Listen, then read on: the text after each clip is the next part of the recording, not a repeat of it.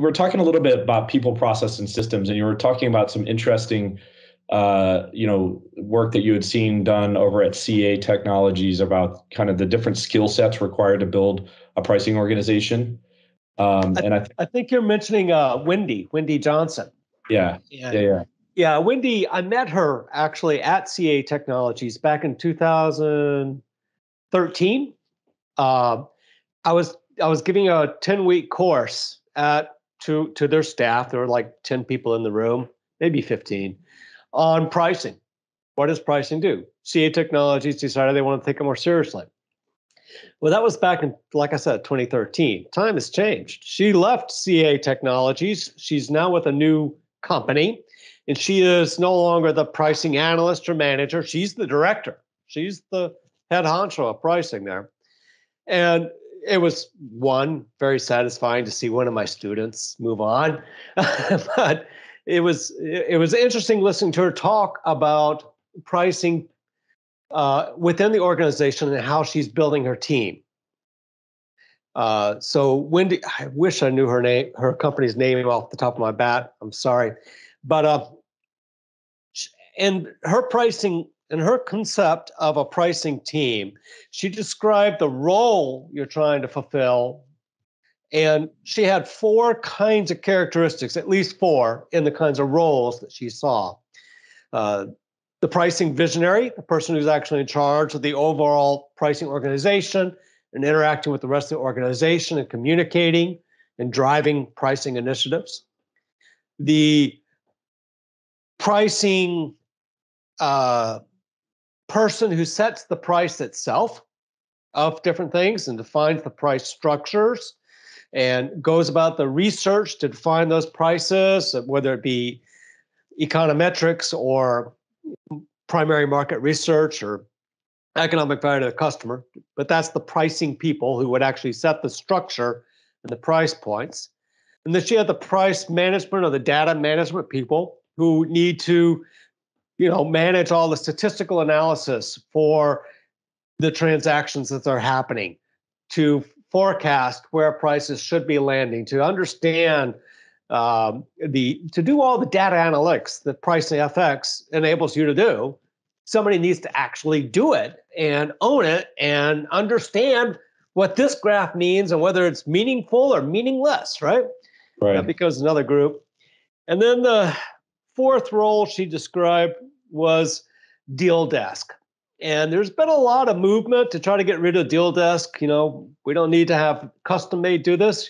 We can use CPQ by PriceFX and just get that done. And that is 99% true, maybe less, maybe more. There's still some certain deals that are just too strange. And it's not a put it all together type stuff. It's now involves also financing plans and working with other departments. It's it requires manual work. And so there's still a role for the deal desk. And so I like those four roles the visionary, the price pricing person themselves, the data management of pricing, and then actually deal desk, get it done, you know, execution. I right. thought that was a nice way to describe the roles. Indeed. And in doing so, she was also pointing out how different the people are. I mean, if you're great at doing data analytics on pricing, that doesn't mean you're great at running a market research program. Right. Absolutely. Yeah, I, th- I think uh, new product pricing and and like the analytics and kind of um, you know optimization around pricing for existing products in a more mature business are very different. I, th- I think you you do b- work in both of those areas though, um, right? In both uh, kind of Conjoint and and Van Westendorp and helping out like companies figure out what to price something that's new um, but but also you know helping them analyze their their existing data. So I guess you see both sides of that. And and uh, so what what would you say to how, how would you say those things differ? Like what like can you can you describe for the folks that maybe aren't, aren't as familiar with with some of those concepts? Um, maybe they're familiar with one but not the other. So can you just maybe c- compare and contrast the the approaches there a little bit? So when you're doing data management of pricing, it's really heavy statistics heavy statistics oriented things. You're trying to find correlations. Correlations between what? Well, you have to identify what it is you want to find those correlations to. So you're really stuck deep down in the math, running hypotheses, testing out correlations, trying to understand what is meaningful. And just because A is correlated to B doesn't mean that A causes B. You know, it could just be a fluke. I mean, height and gender seem to be correlated. So yeah, uh, yeah. So uh, I think you you know uh, Steve Haggett probably right, Steve. Yeah, yeah, I love Steve. He spoke at one of our conferences about. He showed um, you know the the correlation between shark attacks and ice cream consumption, which is pretty interesting. You know, and he's like, if you was just to look at this and you were to draw causality from it, you might say that eating ice cream causes you to get attacked by sharks, but in reality, both you know both happen more in the summertime when people are out in the water and eating a lot of ice cream, right? So yeah, that's a better that's a better analogy right there.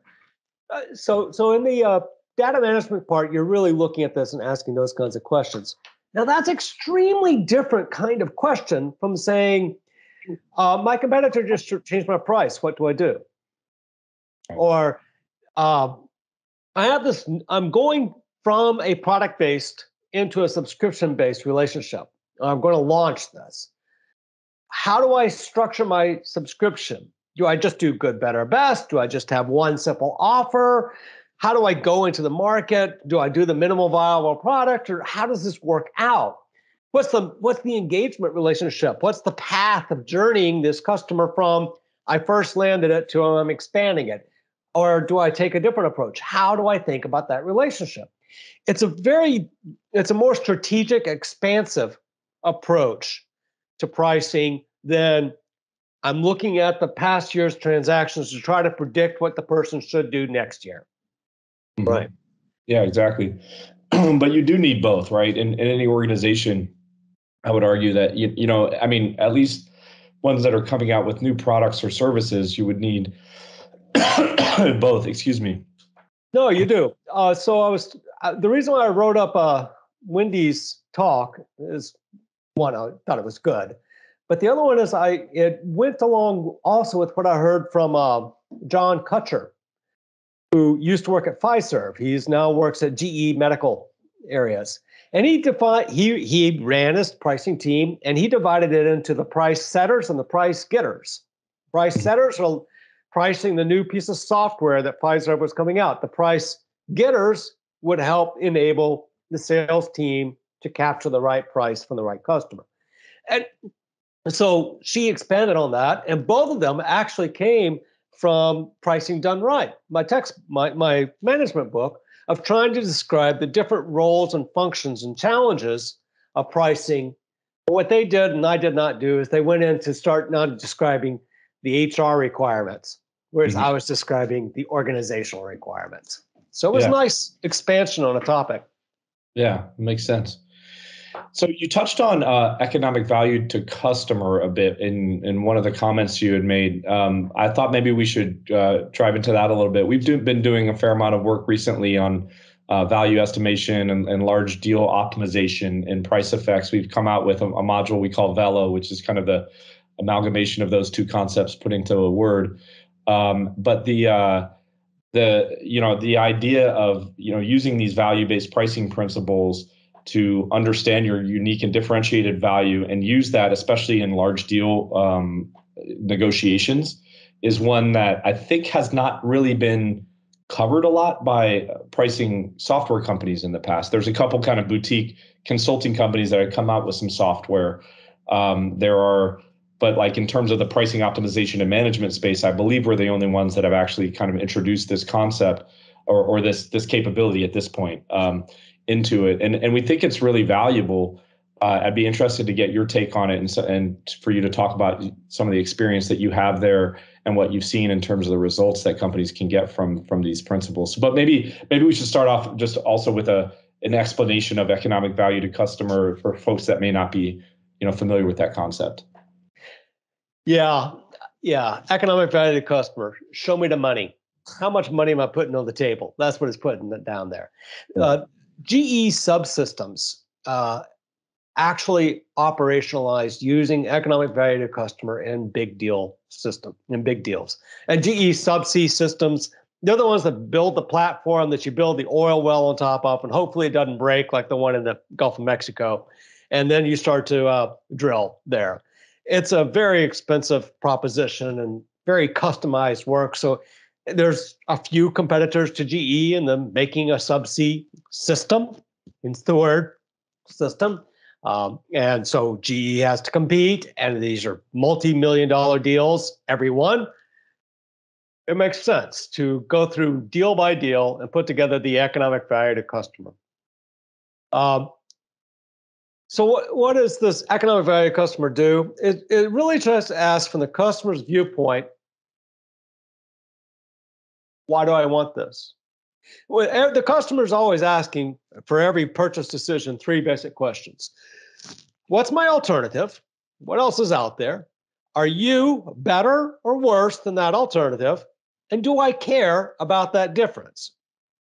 Economic value to customer looks at the economic factors of that difference. I can't necessarily put a valuation on emotions, you know, uh, like I really just like the Corning brand. It's a great brand. Eh, no, it's going to not go up to the psychological part, but it will look at the economic part, which for B2B businesses is often very good, works even consumer as well. And mm-hmm. it just tries to answer why if if I built something and it's different than my competitor, does that make my customer better or worse? How much better in real money time? Right. And then put a dollar sign on it. After you do economic value to the customer, you can take some approaches that have been uh, discussed and documented to actually come up with a price that you should expect to land at, should walk away from, and set as a uh, stretch goal. Yeah. Yeah, and part of what we do is, in addition to that, kind of the, providing the framework to establish that value, um, also the the kind of collaborative platform to manage the process around going after those outcomes in a cross-functional team, right? Because so having things like, okay, this is my, you know, my most desired outcome or my least acceptable outcome or, or you know here's my walk away you know going here's what i'm going in at here's what i'm walking away at. Here, capturing the rounds of negotiation agreeing as a team where you're at and and how you're going to approach the negotiation because i think procurement teams are getting increasingly sophisticated with regards to using um, strategy tools and tactics to you know get better results on the procurement side right and get better pricing um, or costing you know. Although it seems to, to me that some some of that has run its course a bit and that um, that some procurement organizations now understanding that it shouldn't just be about taking the price down. There are actually value drivers that are important like let's say availability or on-time delivery. Those things are pretty important if you're running a manufacturing line and you're you're you know relying on components coming into that or raw materials coming into that in order to be able to operate your production line at you know at a, a high utilization rate. So um, you know, I, I, it's interesting to see that, the, how that's evolving. I think you know some of these ideas, like you know, the just-in-time inventory, you know, taking all this like cost out of the supply chain. Uh, was done in in a bit of a you know a fantasy land that there would be nothing that ever disrupted the supply chain, right? And it's like, well, now it has. So I did a I did a survey, just a quick survey on LinkedIn for B2B buyers. Uh, and I surveyed, I think I got about 37, 38 responses, something like that. So it's not a huge end, but 93% of them, I think, said that they'd be willing to pay more for supply chain continuity. Now, if you had asked that same question two years ago, I bet you it would have been, you know, a, a bit lower. But but still, they would have, especially if they they are in that um, you know, that that situation where they're dependent on certain components being delivered in a timely manner in order to run their business, uh, which you know, who's not in in some way, right? I mean, um, I mean, in, in, the software business, luckily we we don't have a lot of that, but uh, I mean, to some extent, I mean, if if the computer chip shortage got to the point where the you know AWS couldn't provide us the the servers that we need to run our software, then that would impact us, right? So it, to some extent, if you draw that that out far enough, everyone's dependent on something else in order to make their thing work, right? Um, so let's uh, let's talk a little bit about this concept of pricing as a verb, not a number. I like I like that idea that you would uh, have expressed in some previous conversations, And I mean, we we often describe pricing as a journey, right? And and uh, and we talk about the evolution of, of pricing. Um, but but I like this idea that you know pricing's never never done, right? I think you're capturing this similar uh, sentiment in in that uh, that concept. But do you want to expand on that? What you mean by that when you say it? When it came to me, the the problem I saw too often was managers using pricing as nothing more than a number to close a deal. Not realizing there's decisions behind this. They're just trying to think, well, what number will it take to close this deal? Can I live with that number? Mm-hmm. And okay, you can close deals that way, but when you, you when you start to really profit, it's when you start to treat it more as a decision making process, uh, where you're thinking about how do I launch the price? How do I get it out there? How do I manage it over time? Manage it with changes in inflation or changes in my competitor's motion. Um, and you start realizing it's a decision. It's not just simply a number. It's a management decision, and it's very important. Uh, so going back to uh, EVC and GE Oil and Gas Subsea Systems, it was Jesse Finch Nim who was talking to me about this, and part of his role wasn't just simply to tell the salespeople, the commercial department, here's the number. His role is to tell them, here's your number, here's why, here's how you can communicate your value proposition to help close that deal. Right. And and you're realizing that, yeah, I have a number or a price tag for a piece of paper. That doesn't mean you'll make it, you'll buy it. I need to help manage your decision to pay whatever number I put on this thing. So I'm acknowledging my decision, I'm acknowledging my customer's decision, and it takes an organization to pull this decision making off. Uh, too often, pricing in companies is left is officially in the hands of a data jockey, but is actually left totally up to whatever the salespeople want to do within the constraints of the finance department. And it's like that's not a decision making process that optimizes outcome. Somehow that finance person and that salesperson need to work together and maybe marketing as well, because they're the ones who are supposedly building the products and services for some purpose, hopefully to solve a customer need. But if they're doing this, then they need to work together at determining what that price is going to market. Otherwise, the salespeople says, "Yeah, that's just too high. I can't close that." and marketing person says, "Well, I just want market share," and the finance person says, "Well, where's my margin?" And it's just like that's not a decision. That's that's that's an argument. It's just a clash of people yelling at each other. So treating pricing as a verb is talking about putting in the process, the people, the tools to drive pricing as a decision, not simply as the number needed to close the deal that passes mustard with finance.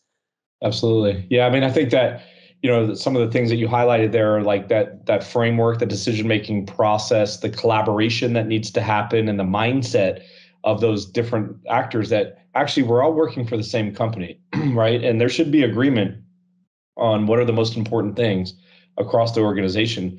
And if there's not that's that's actually a leadership issue right? Is that if you've got you know everyone of course has has some different goals but at the end of the day you know the the real key drivers for a company's success shouldn't be that complex and it shouldn't actually cause conflict at the lower levels right? The the the leader and part of it is having a leadership uh, you know um, structure that understands that and that and that you know doesn't create conflict within the organization.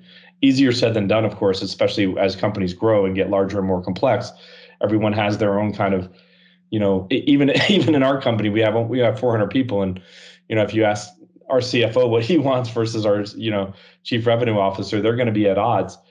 Um, so you've got to acknowledge those things, but you also need to be able to balance between them, and you need to be able to have constructive conversations on, okay, wh- where's the, excuse me, where where's the um, you know the middle ground? Where's the where where can we find the the deal or the the price or or the process that um, you know really takes us in the right direction as an organization right and you can enable that with with tools with process and and also, but also with people that are that have that collaborative mindset but uh i think one of the challenges with the kind of new world that we're operating within now more distributed workforces is you can get even more of that kind of ivory tower syndrome in different organizations sometimes because you're not interacting with people as much, right? Face to face. Um, so, you know, I, I gave this talk on the future of work at PPS a while back, and that was one of the things I talked about was we should really make uh, like like people in pricing. I I, I talked talked all this uh, at my my company as well, right? I talk to them all the time about the people in marketing, the people in product should be with salespeople and and attending our sales meetings and and understanding how we do discovery and how we actually pitch things and where we're coming up against competition or objections and how do we handle those things. Those are the most important things. And really it comes down to that's because that's where the that's where the action is, right? It's it's because that's where you're interacting with the customer, right? And and uh, I, I had uh, David Cancel on. He's a, a, founder, many time founder of like five different startups, but lately Drift that just uh, they just got to be a unicorn. He was on the podcast last year, and he was telling me about just how important that customer centricity is in his mind as a leader to the point where he um, and w- when it really clicked for him it was when he had been asking for this feature for a long time based on his interaction with customers. And he finally just connected the engineer that needed to do the thing with the customer directly. And like the next day or two that feature was done. And he didn't even have to ask because that made it click in the engineer's mind like oh this is important. It's not just david asking for it. It's not just the sales guy asking for it. It's the customer asking for it right? And people can lose sight of that very easily if, if you don't if you don't allow them that that level of interaction. And especially in a more hierarchical organization um, you know it can be a real challenge. So i think uh, you know I, I think there should be as much of that kind of interaction between these different groups as possible and really being you know respecting like what what that person does and seeing what they do, you know, because a lot of pe- people just don't realize like, oh, well, they think about like finance people or pricing people. I think a lot of times think salespeople are just, you know, oh, they just they get all the credit. Their job's super easy. They just go around playing golf and taking people to dinner and and close these big deals and make all this money, right?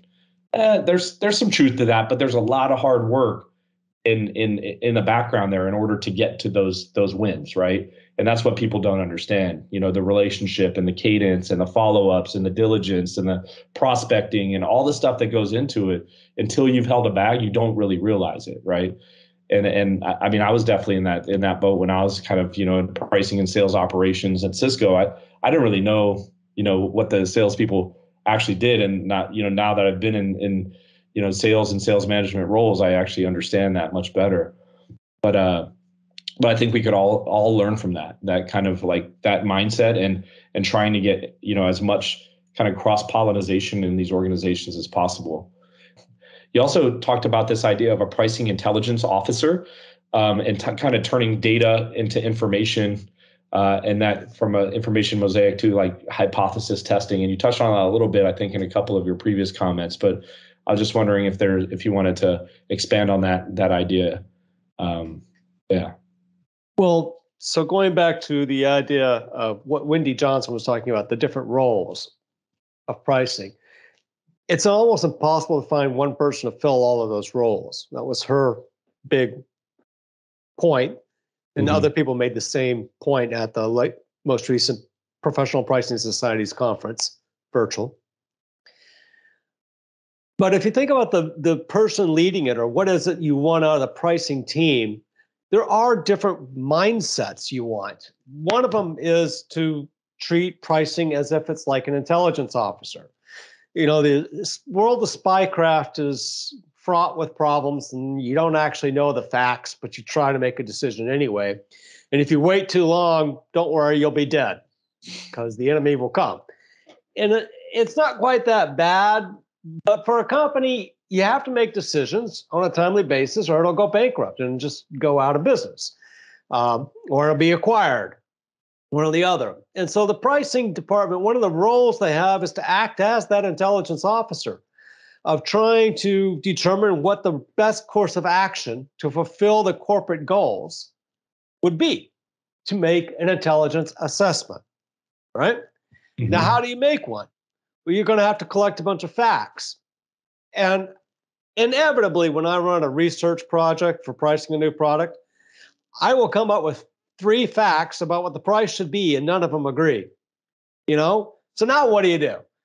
If you have one measurement, and these are real measurements that are perfectly well done, there's nothing wrong with them, but one measurement says 20, the other one says 80.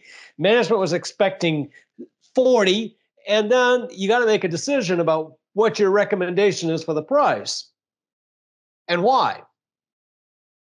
And that's not going to be easy. So you assemble the data into a picture of the whole issues and you realize, okay, I got these measurements that were done perfectly fine. They just disagree because they're different methodologies.